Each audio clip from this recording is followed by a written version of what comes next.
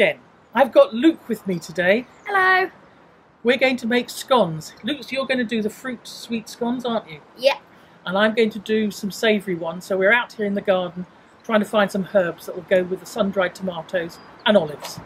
Luke, try that one. That's you should be a flavour you recognise. It's called chives. Okay. Oh, it's turned very oniony. Exactly right. This one is much stronger. Yeah, it is strong.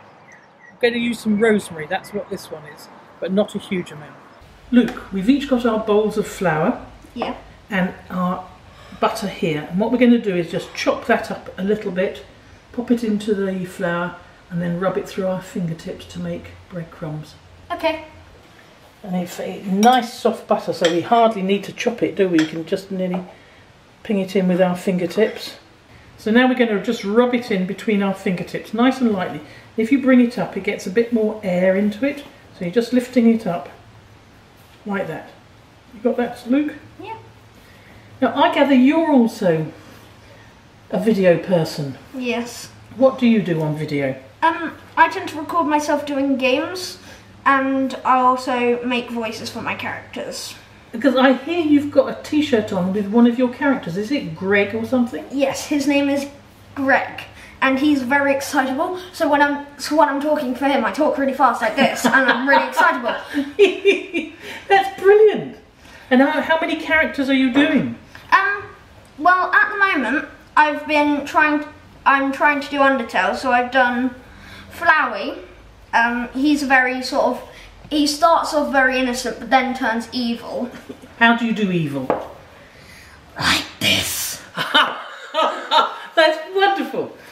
How's your rubbing in going? It's going really well. It's becoming more breadcrumby as we talk. Excellent, well done. So Luke, what's your next step now? Well, my next step is to put in this baking powder right here. Yep. Then I've also got to put in the raisins and the sugar, which are in the same bowl. And this is our pre-beaten egg. Outstanding. Okay, so I'm going to be going over, around, and then over, just to make sure that all of it is combined. Yep.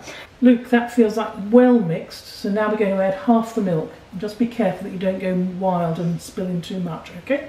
Okay, now try half of what's left and we'll mix that in. Okay. Luke, that feels like a good mix. It's really soft and sticky.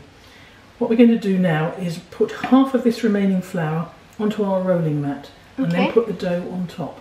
All right. Okay. Rolling it out. Yeah. What next, Luke? Well, I'm going to be sprinkling this flour onto that dough, not so that it looks like a sto- snowstorm, but just enough that it covers it. Good. Luke, what are you up to at this time? Well, I'm going to fold it, and then I'm going to turn it, and then I'm going to fold it again. Okay. Luke, now we're ready for rolling. Here's the pin, and I put a little more flour down on there so that you can um, not stick to the mat. Okay, so you go down in the middle, Yep, gently. and you roll out forwards. Yep. You go back down in the middle, and then you roll out backwards, and that looks like all we need. So, first things first, I'm gonna dip this in there so that the dough doesn't stick, and then I'm gonna go right to the edge. I'm just gonna push through, and then I'm gonna pull away, and then push down. There we go. Luke, come and have a feel and see what you think. If- Yeah, they are puffy. I'll pop them in the oven. Will you give me 15 minutes on the timer, please? Luke, while yours are cooking, I'm just going to knock together these savoury scones. So there's some salt and a bit of pepper. Then I've got my baking powder.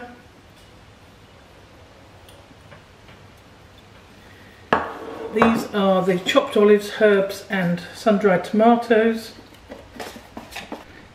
Here goes the egg. Luke, it would be good if you could help me because you can see. Yeah. Can you pop in half that milk? Half of it? Yep. Okay. That's the savoury scones cut out and now they're just having a few minutes while the baking powder does its magic. Luke, can you just brush the top of my scones with your egg wash, please? Yes, I can. There they go. Luke, 15 minutes on the timer, please. Okay. This is what I made this morning. Some fruit scones with strawberry jam and cream. Wow, they, look They sound delicious, yes. These are the savoury scones, really fragrant with all that rosemary, black olives and sun-dried tomatoes. A great alternative to bread rolls for supper or lunch and they taste just scrumptious. All the recipes are on my website www.bakingblind.com.